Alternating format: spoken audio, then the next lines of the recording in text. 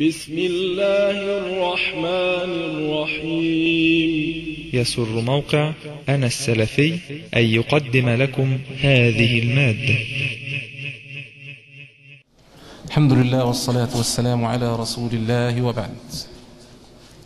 من كتاب عقيدة أهل السنة والجماعة في مسائل الإيمان والكفر. وقفنا في المرة الأخيرة عند قول المصنف حفظه الله تعالى قال مسألة تارك جنس العمل. سبق في الحديث في المرة السابقة يعني أننا تكلمنا عن أن العلماء تكلموا في مسألة الأعمال وأن الإيمان له أصل وكمال. وتكلمنا عن المقصود بأصل الإيمان وما هي الأصول المتفق عليها بين علماء أهل السنة وما هي الأصول المختلف فيها. في مسألة أن هذا يدخل في أصل الإيمان أو لا يدخل في أصل الإيمان. وخلصنا بالكلام إلى أن علماء أهل السنة ليس بينهم خلاف إلا في المباني الأربعة. فهم متفقون على أن غير المباني الأربعة غير المباني الأربعة لا يدخل في أصل الإيمان وإنما من مكملاته. أما الخلاف بينهم فهو في المباني الأربعة لمن تركها أو ترك شيئا منها كسلا وتهاونا وإلا فهم مجمعون على أن من ترك شيئا منها أو حتى من غيرها جحودا فهو كافر والعياذ بالله. ولذلك ملخص هذا يعني جاء في آخر هذه الفقرة بكلام لابن رجب رحمه الله تعالى قال هل هناك أعمال ظاهرة؟ يعني سؤال من المصنف قال هل هناك أعمال ظاهرة؟ يكفر المرء بتركها غير المباني الأربعة؟ قال يجيب الحافظ ابن رجب عن هذا السؤال فيقول فأما بقية خصال الإسلام والإيمان أي غير المباني الأربعة فلا يخرج العبد بتركها من الإسلام عند أهل السنة والجماعة. وإنما خالف في ذلك الخوارج ونحوهم من أهل البدع.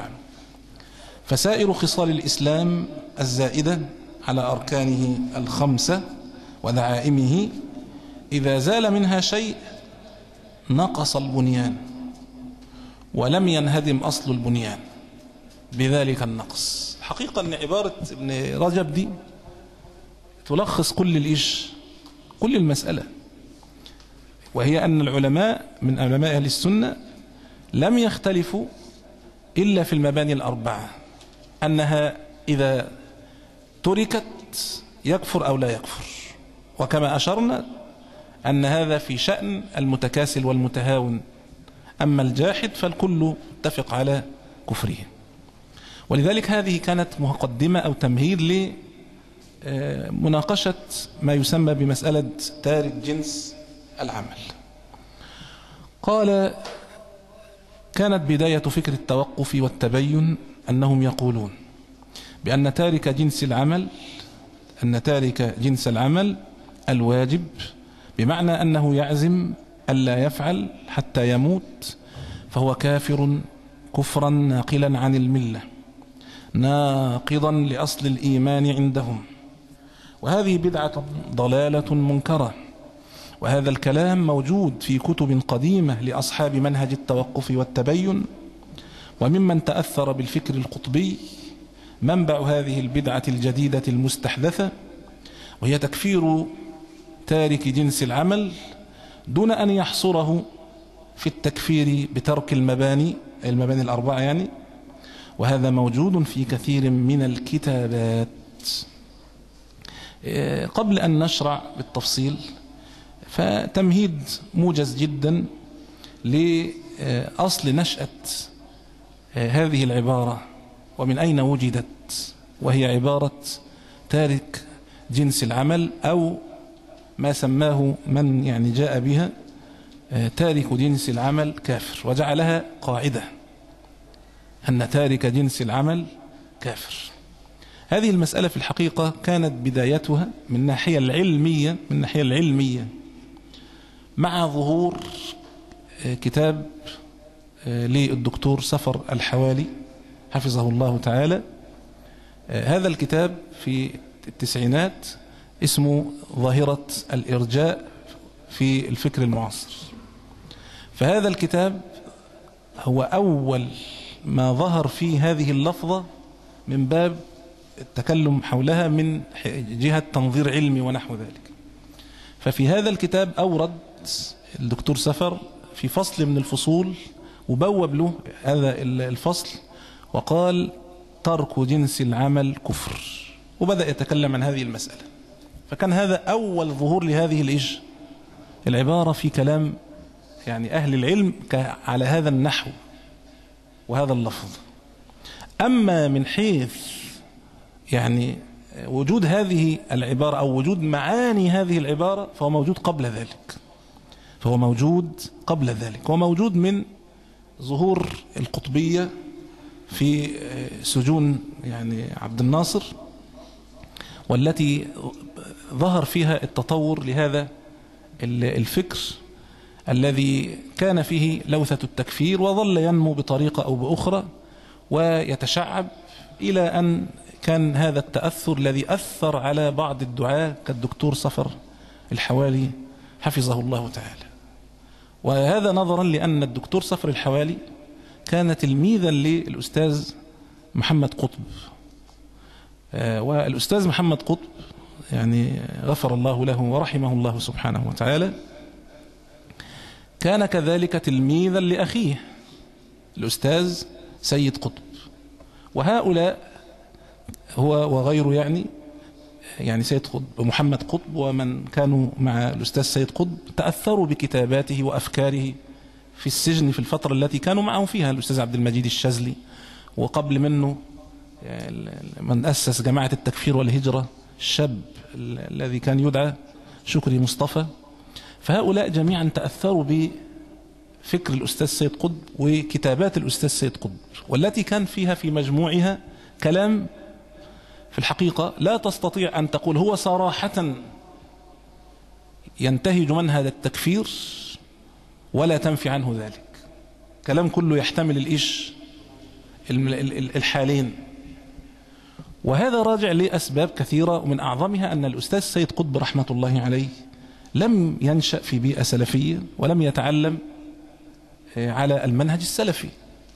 وكما كان يقول الشيخ ابن باز رحمة الله عليه والشيخ الألباني عندما كان يأتي بعض من يثير فتنة الأستاذ سيد قطب خصوصا من صاروا بعد ذلك يتسمون بالمداخلة ونحو ذلك فكانوا يأتون إلى هؤلاء المشايخ ويستثيرونه يستثيرونهم بالأسئلة. ما تقولون في من يقول كذا وكذا وكذا؟ ويأتون ببعض كلمات لسيد قطب فيها أخطاء شنيعة جدا. خصوصا في الكلام في الصفات نحو ذلك. فكان المشايخ حفظهم رحمة الله عليهم كان ينتبهون لذلك وكان إجابتهم كلها إجابات حكيمة جدا. الشيخ ابن باز والشيخ الألباني. حتى وصل الأمر إلى أن اتهم هؤلاء المشايخ بعد ذلك من بعض التيارات بالإرجاء. وذلك لأنهم كانوا يقولون الرجل أديب الرجل لم يتعلم منهج سلفي ونحو ذلك لأنهم كانوا يريدون أن يقال سيد قطب هذا إمام من أئمة الكفر وكذا وكذا ونحو ذلك.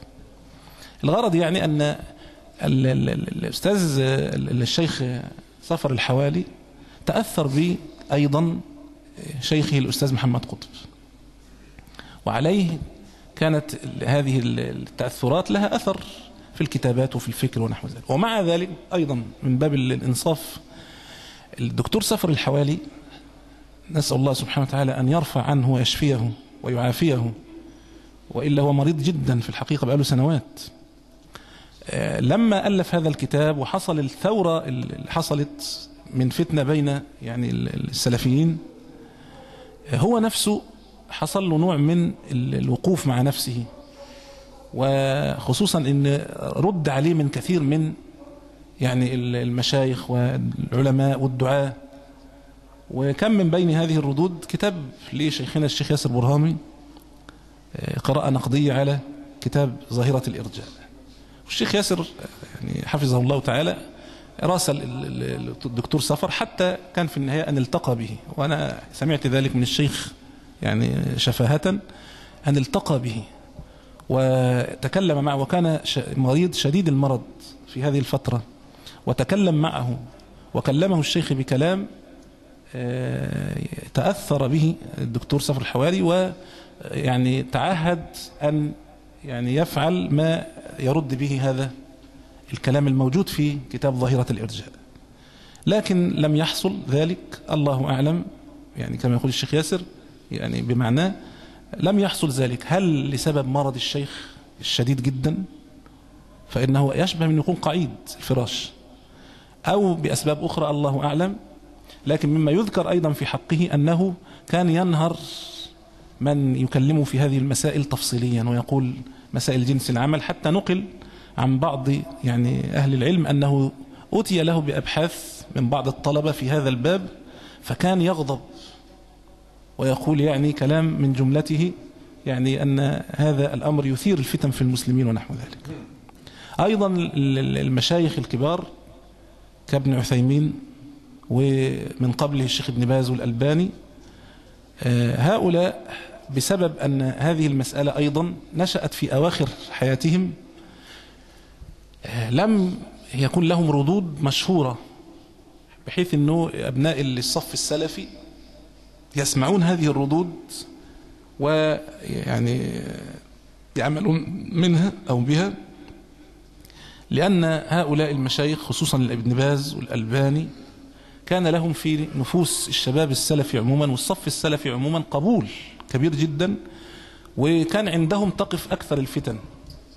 لكن هؤلاء المشايخ ماتوا قبل ما تثار هذه المسألة بقوة.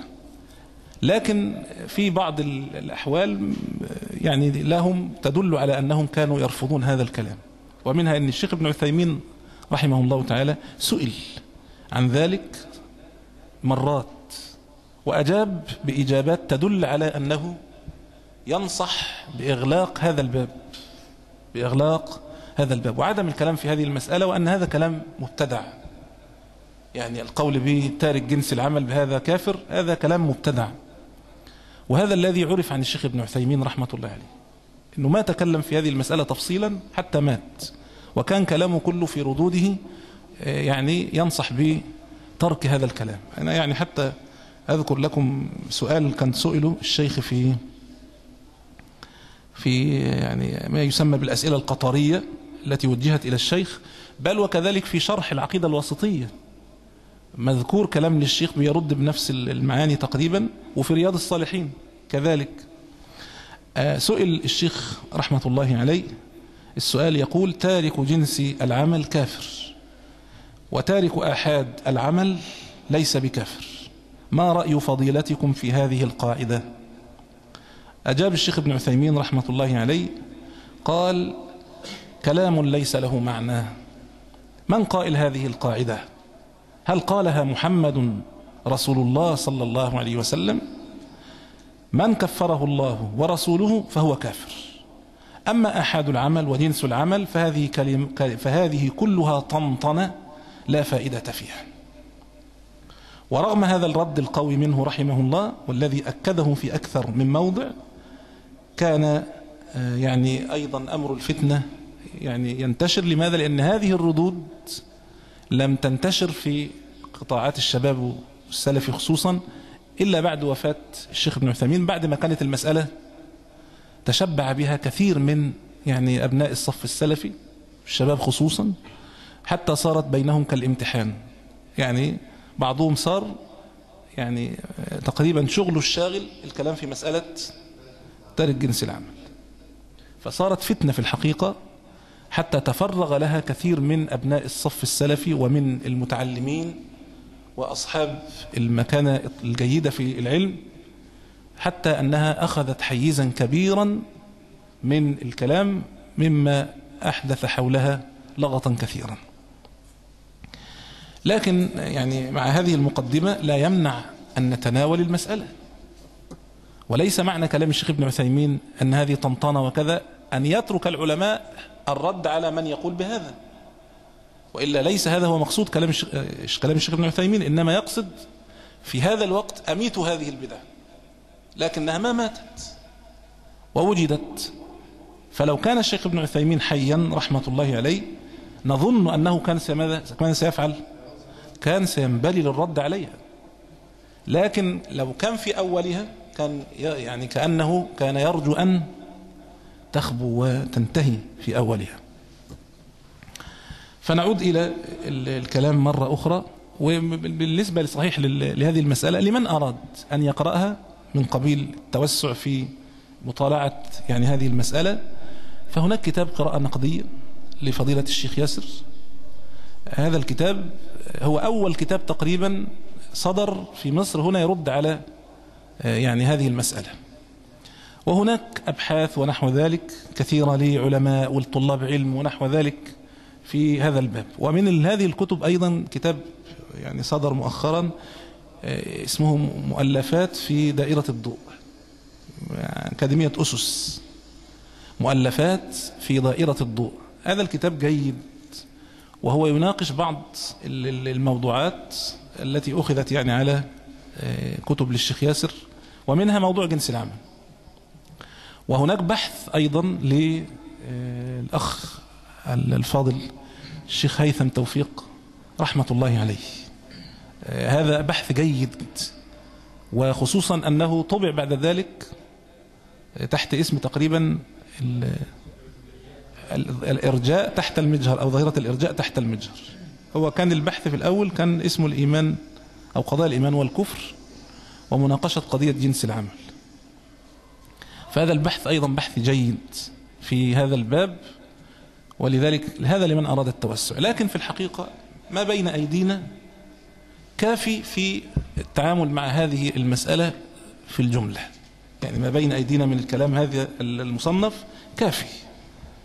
في يعني رد هذه البدعة وخصوصا التأصيل الذي سبق التأصيل الذي سبق. هناك تأصيل حصل عندنا وهو أن أهل السنة أو علماء أهل السنة لا يختلفون إلا في المباني الأربعة أن تاركها أو أن المباني هذه الأربعة تدخل في أصل الإيش؟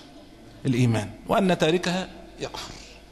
أما غير المباني الأربعة فلا يختلفون فيها. وهذا كما نكرر في شأن من؟ في شأن المتهاون. أما الجاحد فالكل يتفق على أن كل الأعمال من جحدها فإنه يكفر بها. قال مقصودهم بتارك جنس العمل. ما هو المقصود من قولهم تارك جنس العمل؟ قال قد يقصد به وذكر كلمة قد يقصد معناها أنه في نوع من الاضطراب في المسألة. ولذلك المسألة تحتمل وتحتمل. قال قد يقصد به ألف يعني قد يقصد به تارك العمل ككل أي كل الأعمال. قال مقصودهم بتارك جنس العمل. قد يقصد به تارك العمل ككل تارك جنس العمل ككل. إحنا بنقف عليها لأنه اللي هيجي بعدها يترتب عليها. قال وهذا لا يصح أن يعبر عنه. بكلمة العمل مطلقة. لأن تكفير تارك الصلوات الخمس أو تارك الصيام أو تارك الزكاة أو تارك الحج وهو عازم على أن لا يفعلها هذا التكفير فيه خلاف سائغ بين أهل السنة. أليس كذلك؟ إنه أهل السنة عندهم المسألة دي اللي هو اللي, اللي يترك المباني الأربعة في كلام بينهم بيقولوا إنه يكفر. فلما يقول كل الأعمال نقول له لا استنى ده في إيش؟ جزء من هذه الأعمال أهل السنة متكلمين فيه. قال ولا يصح التعبير بأن هذا جنس العمل لأن هذا الخلاف السائغ بين فريقين. يعني إيش؟ إن كانوا يقصدوا كل الأعمال فهذا لا يصح. ليه؟ لأنه يعبر بكل الأعمال عن كل عمل حتى منه المباني الإيش؟ الأربعة. وهذه المسألة مختلف فيها بين عند علماء أهل السنة. قال بين فريقين واحد الفريق الأول يقول بتكفير تارك أي واحد من المباني الأربعة. ولو أدى هذا التارك كل المباني الأخرى كان عنده كافرا. فلا يصح أن يقال إن هذا تارك لجنس العمل لأنه لم يترك كل الأعمال. ومع ذلك كفر بترك واحد من المباني الأربعة يعني الراجل اللي هو بيعمل كل الأعمال إلا الصلاة. عند فريق من أهل العلم إيش؟ كافر. هل ده تارك كل العمل؟ ده تارك نوع واحد من العمل. يبقى لو قالوا في هذا الوصف إنه ده تارك جنس العمل ده وصف مش صحيح. فلو كان المقصود أنه لو صلى صلاة عشان خدوا بالكم ال- ال- ال- ال- ال- التأصيل ده المقصود منه إيه؟ إنه ما فيش حد في أهل السنة بيقول الكلام دوت. إنما أهل السنة بيقولوا إن اللي يسيب ممكن ركن واحد من دول يكفر. بس ما بيسموهوش تارك جنس العمل. لا بيسموه تارك الصلاة. بس تارك صلاة كافر. ما بيقولوش تارك جنس العمل. قال فلو كان المقصود أنه لو صلى صلاة أو صام يوما في حياته لكان غير تارك لجنس العمل فهذا لا يقوله أحد. لا هذا الفريق ولا ذاك. لو كان المقصود أنه صلى صلاة وعليه يعني مثلا العلماء اللي بيقولوا أن تارك الصلاة كافر. لو صلى عندهم عشرين سنة وجي قبل ما يموت بيوم واحد ترك صلاة واحدة هذا كافر. طيب العشرين سنة دول أخبارهم إيه؟ عندهم بطلوا لأنه كفر. ده عند أهل السنة. طيب هل ده يسمى تارك جنس الصلاة؟ كان تارك جنس الصلاة أبدا ده كان بيصلي. لكن عند أهل السنة إنه لما ترك كفر. أو عند فريق يعني من أهل السنة لما ترك كفر. قال لأن هذا الفريق الذي يكف- يكفر مثلا تارك الصلاة يكفر بترك صلاة واحدة. مش بأصل الصلاة كلها أو صلاتين أو ثلاث صلوات. ولم يقل أحد من هذا الفريق إن من صلى صلاة واحدة في حياته لن نكفره بعدها. أنتوا واخدين بالكم من المعنى؟ يعني وكأنه المقصود من الكلام ده لو واحد صلى في حياته مرة يبقى ده ترك في حياته جنس العمل جنس الصلاة؟ ما تركش. مش كده؟ أهو جا- جاب جنس العمل. ده مش موجود عند أهل السنة. أهل السنة يكفروه حتى لو طول عمره بيصلي بس جه قبل ما ي... أنا أقصد فريق يعني أهل السنة. حتى لو جه قبل ما يموت بيوم وترك الصلاة كل ما سبق عندهم لا ينفعه لأنه كفر. وعليه فهل يسمى هذا من حيث الاصطلاح تارك جنس الصلاة؟ لا ما اسموش تارك جنس الصلاة. إنما اسمه عندهم تارك الصلاة. عندهم اسمه تارك الصلاة. اثنين الفريق الثاني الذي لا يكفر تارك الصلاة. يقول لو ترك كل الصلوات ما دام لم يستحل ولم يأبي لم يأبى يعني لم يستكبر فهو ما زال عنده أصل الإسلام عنده لا إله إلا الله ولو لم يعمل خيرا قط. ودول الجمهور اللي بيقولوا ان هو طالما هو مش آبي ولا مستحل قال فهو ما زال عنده أصل الإسلام عنده لا إله إلا الله ولو لم يعمل خيرا قط. أما أن يقول لو صلى صلاة في حياته فهذا لا نكفره ها فلا يوجد من يقول ذلك من أهل العلم. يعني الفريق الثاني اللي هو مش بيكفر تارك الصلاة تكاسلا مش بيكفره فأما أن يقول لو صلى صلاة في حياته فهذا لا نكفره؟ هل وجد هذا عندهم؟ هل قالوا اللي هو إحنا مش هنكفره؟ اللي هو جاب صلاة واحدة. المهم يكون جاب جنس الإيش؟ العمل ده. مش موجود هذا الكلام أصلا. مش موجود عند أهل السنة الفريق الآخر. يبقى الفريق الأول لما واحد بيترك الصلاة بيسموه تارك الصلاة ما بيسموش تارك جنس الصلاة. الفريق الثاني لما واحد صلى مرة واحدة في حياته وبعد كده ترك الصلاة بس تهاونا. ما بيسموهوش مسلم عشان أتى بجنس إيه؟ الصلاة. لا ده بيقولوا عليه مسلم لأنه عندهم أدلة على أنه لم يكفر. حتى ولو لم يصلي حتى إيه؟ صلاة واحدة. قال أما أن يقول لو صلى صلاة في حياته فهذا لا نكفره فلا يوجد من يقول ذلك من أهل العلم. بر الوالدين. وعزم ألا يفعل. قال أنا مش هبر أبويا وأمي دول أبدا. وعزم على ترك هذا الواجب. بر الوالدين ده واجب ولا مش واجب؟ واجب. صلة الرحم واجب ولا مش واجب؟ عزم على أن لا يصل أرحامه أبدا. حكمه إيش في الإسلام؟ ها؟ أي نعم إحنا على التأصيل السابق بتاعنا. إنه ده خارج عن المباني الأربعة. ما فيش خلاف بين أهل السنة أنه ليس بكافر إلا أن يستحل. لا إحنا بره المباني الأربعة. إلا أن يستحل. لو قال إنه ترك بر الوالدين هذا حلال أو قال ترك صلة الرحم حلال ده يبقى كافر لأنه استحل ما حرم الله. لكن لو أن واحدا من الناس عارف أن صلة الأرحام واجبة وقال أنا عارف أنها واجبة بس أنا مش هصل أرحامي. وخلاص هقطعهم طول العمر. مش هعمل صلة رحم. عند أصحاب هذه البدعة يصير كافرا. لأنه ترك إيش؟ جنس هذا العمل. تركه خلاص. وعزم ألا يفعله. وعليه فهذا يترتب عليه الكلام هذا فعندهم يصير كافرا. عند أهل السنة هذا عاصي مرتكب كبيرة. أي نعم. قال وقد يقصد بقولهم تارك جنس العمل هو أن يترك أي عمل واجب بالكلية ويعزم أن لا يعود إليه ومن يصر على المعصية إلى أن يموت ويعزم أن يظل يفعلها هذا هو تارك جنس العمل ويصبح عندهم كافرا. وهذه البدعة الضلالة أصلها من فكر الخوارج. الشبه بينها وبين الخوارج إيه؟ إنه يكفر بالكبيرة. وهذا إنسان ارتكب كبيرة إنه عزم على ألا يفعل واجبا وأن يتركه إلى أن يموت. وأنا بقول لحضرتك المثال هو الفج.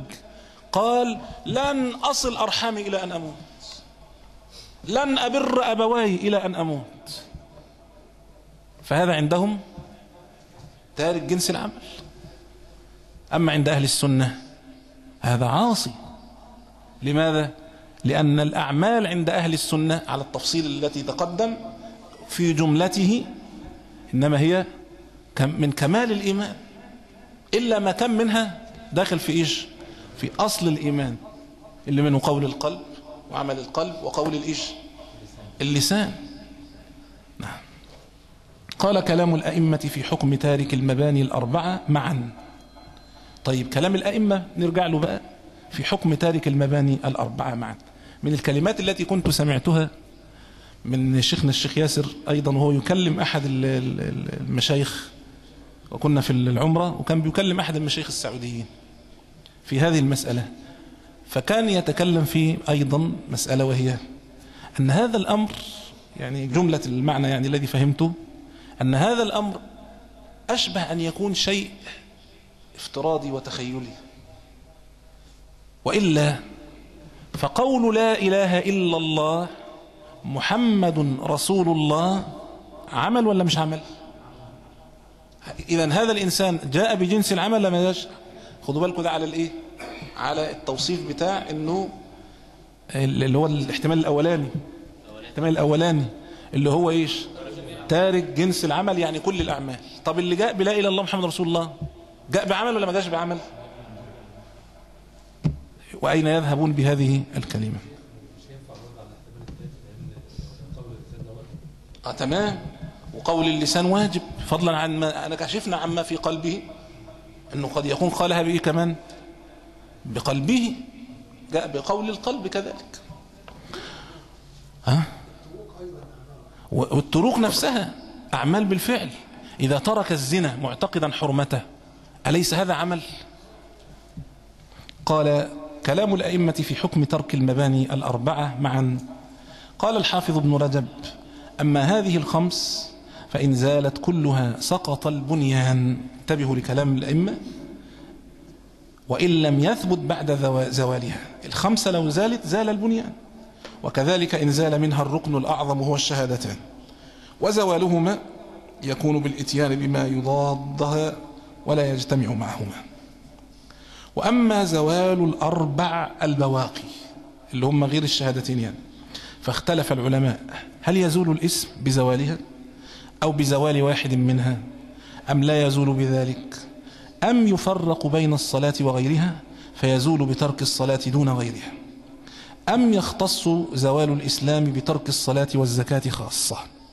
وفي ذلك اختلاف مشهور وهذه الأقوال كلها محكية عن الإمام أحمد. خلاصة ابن كلام ابن رجب هنا ماذا؟ أن الخلاف بين أهل السنة على ماذا؟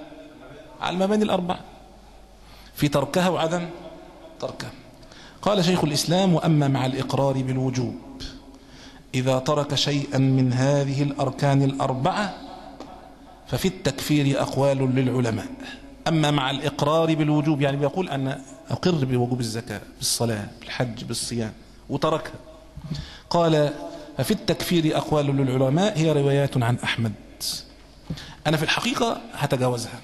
إحنا كل لأن كل الكلام ده سبق. هتجاوز الجزء ده في الصفحة. اللي هو ذكر فيه أقوال الإيش؟ العلماء واختلافهم في تارك الإيش؟ المباني الأربعة. ثم قال قال شيخ الإسلام محمد بن عبد الوهاب أركان الإسلام الخمسة أولها الشهادتان ثم الأركان الأربعة.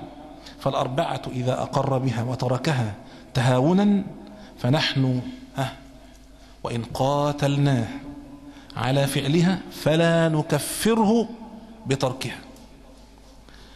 قال فالعلماء اختلفوا في كفر التارك لها كسلا من غير جحود ولا نكفر إلا ما أجمع عليه العلماء كلهم وهو الشهادتان. قال والنقول من أئمة أهل السنة في ذكر الخلاف في كفر تارك المباني الأربعة كسلا كثيرة وإنما اقتصرنا على ما نقلناه خشية الإطالة.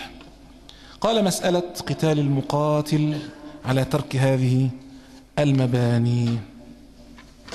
قال فلو قاتل تارك هذه المباني على تركها مع إقراره بوجوبها وبيقول أي نعم أنا مقر بها لكنه مش راضي يفعلها. كسلا بخلا نحو ذلك تأولا زي مانع الزكاة.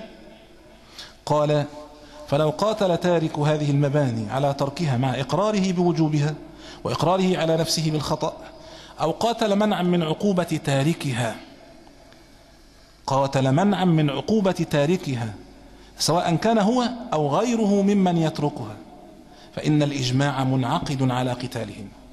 فأهل العلم يقولون لو أن هناك طائفة قاتلت الإمام على منع الزكاة أو على منع الصلاة فهؤلاء يقاتلون بالإجماع بدليل قول أبي بكر واجتمع عليه الصحابة بعد ذلك. لأقاتلن من فرق بين الصلاة والزكاة. لما قال له عمر تقاتل من قال بقولنا أو تقاتل من قال لا إله إلا الله؟ قال وهناك إجماع على قتالهم في الزكاة والصلاة بل وفي الحقيقة على كل شعائر الإسلام الظاهرة المجمع على وجوبها لا المباني الأربعة فقط. يعني لو أن طائفة امتنعت عن الجهاد. يعني فئة من المسلمين قالت خلاص إحنا مقرين بالجهاد إنه شرع ودين وفضيلة بس إحنا مش هنجاهد. ولن نجاهد بعد ذلك. هؤلاء يقاتلون على ذلك. أو ده مش من المباني الأربعة. لكن مشروع قتالهم. فإن من منع شيئا من شرائع الإسلام وإن كان مقرا به فمشروع قتاله بالإجماع. قال فلو قال طب القتال ده يستلزم تكفيره؟ لا ما يستلزمش تكفيره. قال فلو قال قوم سنشرب الخمر أو سندعو الناس عندنا يشربون الخمر سندع الناس عندنا يشربون الخمر. ونحن نعلم أن الخمر حرام. ومقرون على أنفسنا بالخطأ لكننا لن نسمح بإقامة الحد على شارب الخمر. ونعرف أنه فرض ولكن لن نترككم تنفذونه وتوقعونه. فرض على الإمام أن يحاربهم. وهذه المسألة مسألة وجوب قتالهم غير مسألة التكفير. هو بيقول إن إحنا عارفين الخمر حرام بس أنتوا ما تقولوش إن تمنعوش الناس أنتوا وبعدين القانون بيبيحها آه إحنا عارفين إن هي في الشرع والدين حرام. بس إحنا عشان ظروف وعشان ونحو ذلك. هذا يقاتل حتى ولو كان مقر بإيش؟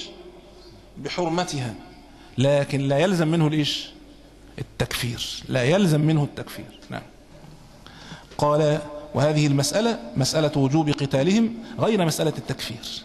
وإن كان هناك قول عند الحنابلة أن من قاتل على منع الزكاة وقاتل على ترك الصلاة فهو كافر.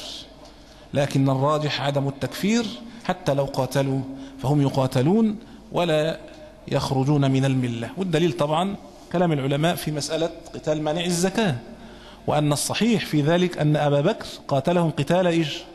بغاة قتال بغاة وليس قتال إيش؟ مرتدين. وأما ذكر قتال أبي بكر للمرتدين هذا من باب التعميم لأن هناك كان موجود في هذا الوقت بعض المرتدين الذين ارتدوا عن الإسلام. قال ترك أعمال الجوارح جحودا. اللي يترك ده تنبيه مهم جدا. الفقرة دي نوع من التنبيه. ترك أعمال الجوارح جحودا. اللي يترك أعمال الجوارح جحودا. أي عمل بقى مش المباني الإيش؟ الأربعة. أي عمل. قال تارك المباني الأربعة جحودا كفره معلوم من الدين بالضرورة. المباني الأربعة. وترك غير الأركان الأربعة جحودا كفر مخرج من الملة أيضا. قال فلو ترك بر الوالدين مثلا جحودا أو ترك صلة الأرحام جحودا يعني أو ترك الجهاد الواجب جحودا فهو أيضا كافر خارج من الملة باتفاق لأنه يجحد المعلوم من الدين بالضرورة. أو يجحد ما علمه من الدين كالمستحل للمحرم اللي يقول مثلا إن شرب الخمر حلال هذا مرتد. والعياذ بالله. أيضا مع التنبيه على أنه لا يلزم من وجود الكفر كفر المعين مطلقا أو فورا وإلا قد يكون هذا جاهل قد يكون متأول قد يكون مكره ونحو ذلك. ولذلك ينظر في الشروط والموانع قبل ما ينزل الحكم على المعين. نعم. قال فهو أيضا كافر خارج من الملة باتفاق لأنه يجحد المعلوم من الدين بالضرورة أو يجحد ما علمه من الدين كالمستحل للمحرم. فالفرق بين هذه الأركان الأربعة الصلاة والزكاة والصيام والحج وبين غيرها أن الخلاف هو في كفر من تركها تكاسلا فقط. أما الجحود فمثلها مثل غيرها من الأعمال المعلومات من الدين بالضرورة في أن جاحدها كافر. ثم قال الخلاف في حكم تارك الصلاة تكاسلا. وهيذكر هنا في بحث مختصر اختلاف الفريقين من أهل السنة في كفر إيش؟ تارك الصلاة تكاسلا. وهذه مسألة متقررة ومكررة عندنا كثيرا. وننصح الإخوة أن يقرأوا هذا الجزء الباقي حتى نقف إن شاء الله في المرة القادمة على الباب الذي أو الفصل الذي بعده وهو ثبوت أحكام الإسلام. فنقف على هذا القدر بإذن الله تعالى ونذكر الإخوة من شاء أن يعني يطالع هذه المسألة مفصلة. فليرجع إلى بعض الكتب مثل قراءة نقدية للشيخ ياسر وكذلك الكتاب مؤلفات في ضوء في دائرة الضوء. وكذلك بحث الشيخ هيثم توفيق رحمة الله عليه. مين المؤلف؟ من المؤلف؟ طيب يعني محمد بيقول رسالة اسمها ضبط الخلل في مسألة تارك جنس العمل. هذا لمن أراد يعني التوسع وإلا ننصح في الحقيقة أنه الإنسان يطالع منها مطالعة يعني التنظير والرد ونحو ذلك ولا يعني يغرق يعني نفسه فيها إغراقا وإلا في الحقيقة هذا الإغراق قد يسبب أن الإنسان ممكن يعني يعيش معها طويلا. قولوا قولي هذا واستغفر الله. قل هذه سبيلي أدعو إلى الله. على بصيرة أنا ومن اتبعني وسبحان الله وما أنا من المشركين.